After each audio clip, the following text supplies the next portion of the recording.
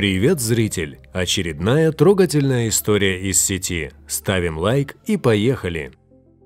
Дик и Рик Хойты завершили 37-летнюю спортивную карьеру. Учитывая страшный диагноз Рика и косность спортивной бюрократии, этой карьеры вообще не должно было быть тем значительнее выглядит подвиг отца и сына. Офицер авиации США Дик Хойт, по всему, видать, мужчина не слабого десятка, но его сердце болезненно сжалось, когда врач-педиатр скорбно произнес «У вашего восьмимесячного сына церебральный паралич». На дворе был 1962 год, и с таким диагнозом парню светила одна дорога в специальное учреждение для пациентов в вегетативном состоянии, в просторечии овощей. Но Дик увидел в глазах сына жажду на настоящей жизни, поэтому он твердо произнес «нет, он будет расти с нами». Как и предсказывали врачи, Рик, так звали мальчика, не мог управлять конечностями, мог лишь сносно двигать головой. Когда пришло время, Джуди, мать парня, увешала весь дом бумажками, шкаф, дверь, стена и взялась учить Рика алфавиту, а зимой 1974 года студенты Массачусетского университета Тафтса разработали для Рика специальное коммуникативное устройство. Рик рос с двумя братьями, Расселом и Робертом. Спорт был частью их жизни, и Рик не оставался в стороне. Он стоял на хоккейных воротах, пока кто-то управлял его коляской сзади, съезжал с ним с горы на санках, плавал и даже умудрялся играть с братьями в бейсбол. Когда в том же 1974 году Рику отказали в поступлении в среднюю школу, Джуди тоже проявила бойцовский характер, присущий Хойтам. Она инициировала целую кампанию за реформу образования, которая привела к изменению законодательства штата Массачусетс и принятию нового закона против дискриминации инвалидов, так называемой главы 766. Одним прекрасным днем 1977 года голосом университетской машины Рик заявил отцу, что хочет принять участие в благотворительном забеге в помощь одному парализованному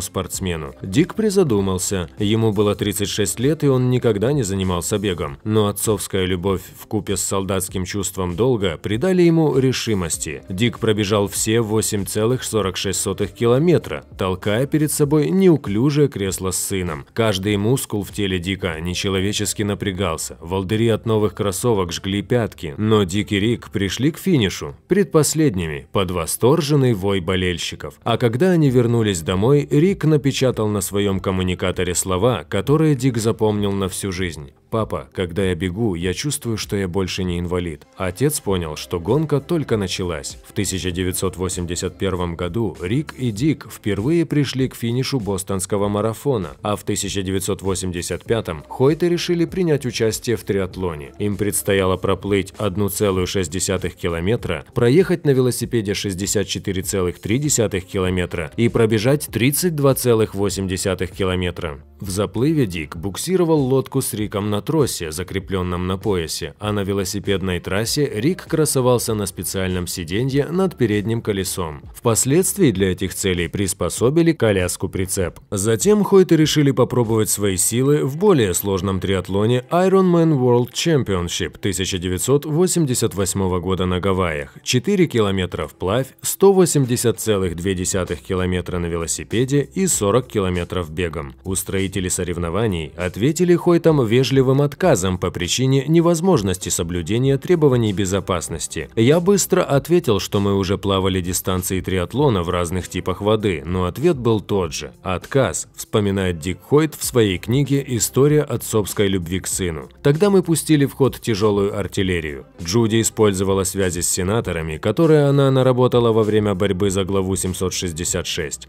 Чудесным образом команда Хойтов была включена в число участников. В общей сложности отец с сыном участвовали в Ironman 6 раз. Рик восхищенно рассказывает об отце. Среднестатистический триатлонист весит около 74 килограмм и около 8,5 килограмм весит велосипед, а мой папа весит 90, плюс велосипед повышенной прочности весит 35, и я вдобавок вешу около 50 килограмм. В итоге он тянет на себе на 100 килограмм больше обычного атлета. Сам Рик тоже малый не промах.